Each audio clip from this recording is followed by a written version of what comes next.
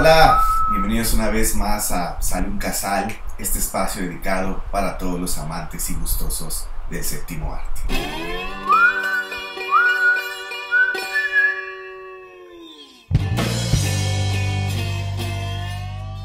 Y pues bueno, el día de hoy quisimos hablar del cine iraní contemporáneo, un país donde ha habido un movimiento neorrealista muy importante desde principios de siglo, desde los inicios del milenio, circundando el año o la fecha del 2000, poco antes, poco después, pero que sigue actual, sigue con mucha fuerza, con mucho garbo, y que la verdad es que es muy interesante, ya que como podemos entender, pues en este mundo occidental y bajo el yugo de la opinión de las grandes naciones que controlan esta parte del hemisferio cultural, pues a veces es malinterpretada o por conveniencias con ciertas falacias o hablar mal. Pero qué mejor que sean los mismos iraníes en su arte y en su cine, los cuales miran hacia sus adentros, hacia sus inquietudes, hacia sus debates morales, religiosos y sociales para hacer una radiografía de sus habitantes. Así que bueno, pues yo he tenido la oportunidad de ver algunas cuantas películas de este movimiento iraní, me han parecido increíbles muchas de ellas. La verdad es que es un cine que va a dejar satisfecho a muchos, a muchos gustosos del cine. No hay pierde en este gran movimiento de cine iraní contemporáneo. Así que, de entre las películas que he visto, escogí dos que creo que nos pueden abrir una puerta muy importante a este bastante, bastante interesante e importante mundo. La primera de ellas se llama Una separación. Es una película del 2011 y es dirigida por Asghar Farhadi.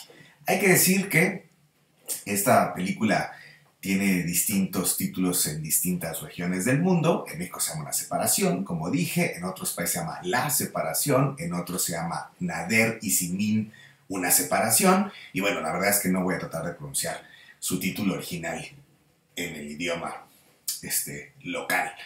Pero bueno, lo que sí les puedo decir y comentar y que es muy interesante y en lo cual yo también lo afirmo, también lo creo y lo he experimentado, es que muchos críticos y estudiosos del cine la consideran una de las grandes obras maestras de los últimos años, una de las películas más bellas que pueden ver. Es una película sumamente cruda, muy real, muy natural y que la verdad es que te deja sorprendido. ¿De qué trata un poco una separación? Bueno, pues trata obviamente de Nader y Simin, un matrimonio que en la primera escena, así de tajo, estaban frente a un juez pidiendo el divorcio. Hay muchas cuestiones que afectan esta relación. Nader y Simin tienen una hija. Y Simin, que es la esposa, quiere irse del país, eh, quiere irse a vivir a Estados Unidos para que su hija no crezca en estas en estas causalidades que tiene ese país para con la mujer, ¿no? y trata de liberarle, por eso se quiere Estados Unidos. Pero pues tienen que irse ambos, los, los padres. Las reglas allá familiares son bastante, bastante estrictas. Pero uh, Nader no se quiere ir, por una razón también muy importante. Su padre tiene Alzheimer. Entonces aquí habla un poco del ego de cada uno de, esta, de estas parejas. ¿no? Nader tiene una necesidad, tiene que quedarse aquí con su padre de Alzheimer. Simil le pide que lo deje, que lo abandone ahí y que vean hacia el futuro, hacia su hija. Como no se ponen de acuerdo, ella está pidiendo el divorcio. Pero no hay los datos o la problemática suficiente, según el juez, para hacerlo. Entonces, bueno, se quiebra. Podríamos decir que esa es la separación de la que habla la película. Pero no, va a ir más allá. La madre obviamente se aleja, eh, el cuidado de la hija queda a cargo de Nader, el esposo, y entonces nos vamos a la vida de él que él vive con su padre, cuidándolo con Alzheimer, y que bueno, pues como él em, trabaja, pues no puede estar en, la casa todo el día, su hija estudia, pues entonces contrata a una persona, una persona que cuide de él. Pero entonces comienzan estas consideraciones religiosas y estos tapujos sociales que a nosotros se nos hace un poco difícil, pero que también tiene símiles con el mundo que vivimos aquí, ¿no? ¿Qué tan apropiado es que una mujer haga esa labor? ¿Qué tan apropiado es que una mujer cuide de un hombre que no tiene las facultades para muchas cosas naturales como hacer del baño, vestirse, desvestirse, tocarlo? Entonces las cosas comienzan a complicarse un poco más. Nader ve solamente por su padre, está muy preocupado por él. Su hija está completamente divorciada en su mente y en su corazón de a quién apoyar más, a su padre, a su madre, con quién quiere vivir, qué problemáticas tiene cada uno de ellos, por qué ellos se tienen que separar por estas cuestiones que parece que la solución podría ser más sencilla. Y bueno, las cosas se van tornando y caldeando cada vez más. Nader llega a algún momento a su casa y encuentra a su padre amarrado. Y obviamente se enoja y pide explicaciones y despide a esta mujer que lo cuida, que tiene muchísimos problemas, porque su esposo, el esposo de la que cuidaba a su padre, es una persona sumamente tradicional. Ahí tenemos esta cuestión de, de estas consideraciones que hacen a las mujeres un tanto menos. Ahí lo tenemos, sí, sí lo ven, sí se explora. Y también con Nader y Simin, perdón, son una pareja un tanto más moderna, pero que tiene necesidades bastante carnales ¿no? y familiares. Todos ven para su futuro. Nadie quiere abandonar a nadie. Pero eh, eh, eh, la alegoría moral que tienen, pues la verdad es que no los permite este, librarse de estas cuestiones. ¿no? ¿no? pueden ir hacia un lado con total libertad, siempre se van a quedar con una preocupación. Bueno, Nader comete un pequeño desliz en su enojo, en su ira con esta mujer que no queda bien su padre, la empuja y cae por las escaleras de su edificio. Y entonces comienzan ciertos alegatos, alegatos ah, bastante complicados en la sociedad iraní, porque ella sufre un aborto espontáneo, por así decirlo, pero al parecer es por esta caída en las escaleras. Pero entonces empieza realmente la cuestión moral, de falacias, de quién sabía qué, y quién no sabía qué. Nader sabía que esta mujer estaba embarazada. Realmente ese accidente en las escaleras, porque fue un accidente, es lo que provocó este aborto. ¿Quién está al lado de quién? El esposo de la cuidadora también quiere aprovecharse de la situación y está dinero. Con dinero podemos hacer que las cosas se arreglen. Y entonces es ahí realmente la separación de las que Farhadi nos habla. No es una separación entre el matrimonio, es una separación que tenemos con nosotros mismos por tratar de que nos convenga la vida. Nos hemos separado de nuestros valores, nos hemos separado de una sociedad bien construida. ¿Por qué cosas podríamos vender la verdad? ¿Por qué cosas podríamos vender la moral? ¿Por qué cosas tendríamos que mentir?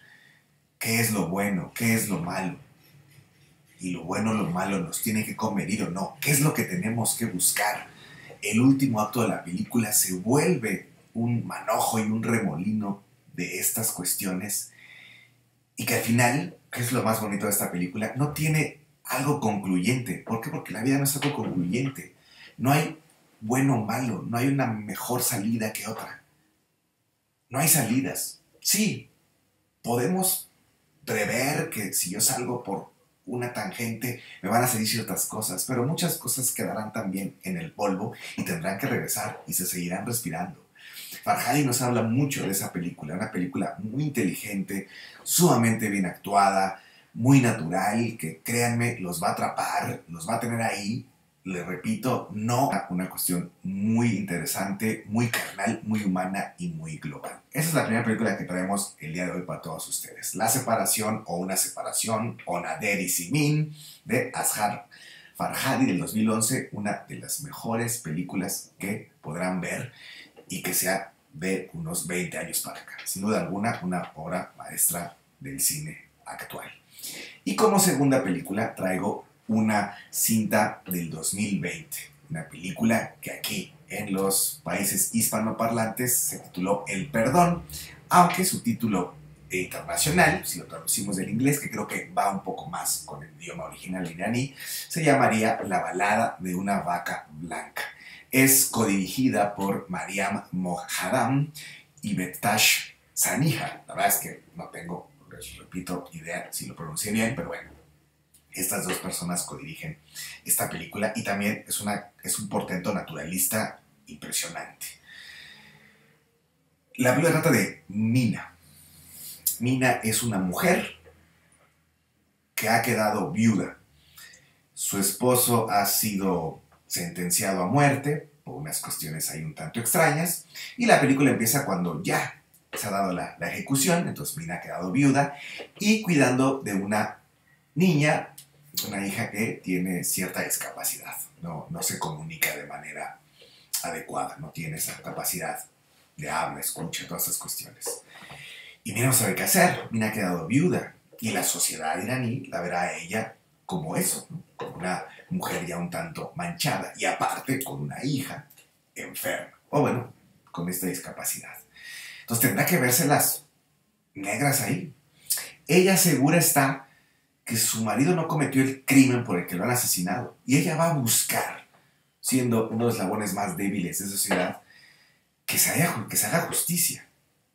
Rebuscará entre todas las paredes, polvos y ladrillos que encuentre ahí para que su esposo sea puesto en una libertad simbólica, ¿no? Tenga esa, ese dote de inocencia porque ella jura que eso es. Y de la nada aparece un hombre, un día, en su puerta y que le dice que él le tenía una deuda a su marido, una deuda capital, y que quiere pagarla. Ella lo cree, lo considera así, y entonces empieza esta relación de ayuda de este, de este sujeto que apareció misteriosamente en esta puerta. Y le empieza a ayudar. Le empieza a ayudar, le pone un departamento más cómodo, hace que lo limpien, le empieza a dar dinero, empieza, que la, que, empieza a hacer que su vida sea más cómoda. Hasta tal grado que también se meten en ciertos problemas porque pues eh, en el departamento de este señor la gente se empieza a dar cuenta que está metiendo a una mujer eh, que ellos ven que no está casada y que tiene una hija y se empiezan a tener ahí ciertas dudas, pero ellos empiezan a construir una relación, una relación eh, que se va solidificando. Incluso la propia hija eh, de esta mujer empieza a tomarle cariño a este hombre. También por otra vertiente tenemos a un hijo de este señor que no cree en él, ¿no? Porque nos vamos enterando que esta persona es un juez y que fue uno de los jueces que firmaron la sentencia del esposo de Mina. Entonces sabemos que esto es un viaje de expiación. Es un bloque gigantesco que pesa en las espaldas y la conciencia de este señor, de este juez, y que su hijo no lo quiere, porque su hijo no cree en la justicia de ese país, sabe que en ese país las cosas no son así, son solamente conveniencia vil. Es una crítica muy interesante, pero también podemos ver cómo este juez, al darse cuenta de su error, le pesa, o sea, realmente hay, un pesar en él, a pesar de que el sistema no puede decir que se ha equivocado. Entonces, ¿qué es lo que va a suceder? Porque Mina también se empieza a encariñar de él. Hay, hay unos momentos muy sutiles, pero muy bellos y muy importantes, donde ella también se empieza a arreglar mejor para verlo a él. ¿Será que tal vez ella se está enamorando de él por ella misma, por el cariño de su hija? Ella en algún momento sabrá un poco la verdad o no. Y si supiera la verdad, ¿de qué cosas sería capaz? Fantasías, egos, realidades, dolores. ¿Quién gana aquí? La justicia es un papel, es un valor, puede ser un dictamen, unas palabras. Pero ¿quién realmente escapa cuando las cosas han sido ya hechas, sentenciadas? Es una situación sumamente cruenta, muy bien llevada. Otra vez les digo un portento naturalista. La verdad es que este movimiento neorrealista iraní es impresionante. La verdad es que lo vemos y es algo sumamente común. Parece que estamos viendo en la ventana de ese país. También funciona para que conozcamos un poco cómo viven eh, comúnmente en, dicha nación, ¿no? Y nos olvidemos de ciertos prejuicios o ficciones que nos cuentan algunas naciones de nuestro hemisferio occidental, como les dije.